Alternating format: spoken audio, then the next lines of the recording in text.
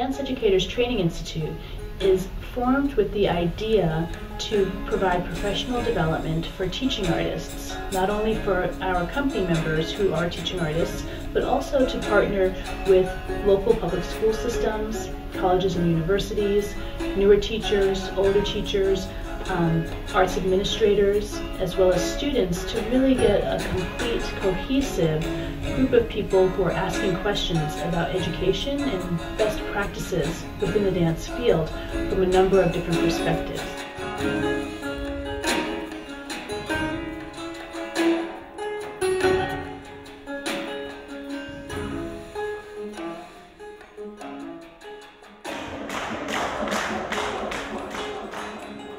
We partnered with the Baltimore County Public School System as well as Primary Movers, and we're funded also by the William G. Baker Jr. Memorial Fund.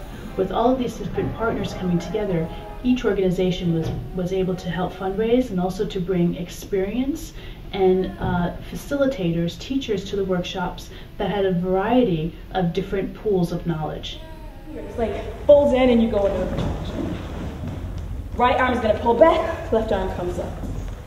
What kind of pattern this is, I bet most people would be able to tell me the name of this pattern. Top, top, hit, hit, hit, hit, out, boom, boom.